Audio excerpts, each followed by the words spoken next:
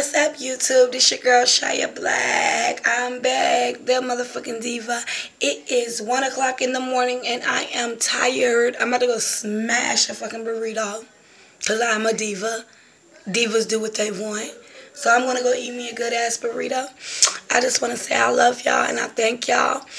Um, for like like I said, pursuing me more and more, and it's making me more and more of a star. People are starting to actually be like, "Hey, Shia'Blaque, what's up?"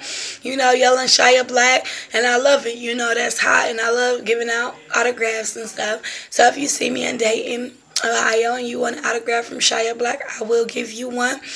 Um, I'm close to there. I'm almost there. And I can't wait till Sunday to go to church. And like I said, I rap, I cuss or whatever, but that doesn't make me. That's not me. That's entertainment. And that is for my rapping career and my music career. But faith in God, you can do anything and I'm going to make it. So believe the diva loves you. And like I say, anything you want to do, baby, be consistent with it. Don't stop. Keep doing it. Keep going and keep going and keep going. Make your get um work out, get healthy, make eat better. Like I'm starting to eat better and stuff. And I need to work out and cigarettes I do need to stop. The diva needs to stop, y'all. You know, I do. But it's not an excuse. I'ma stop. So show your girl some love. I love y'all, flawless the diva. Mwah. Good night.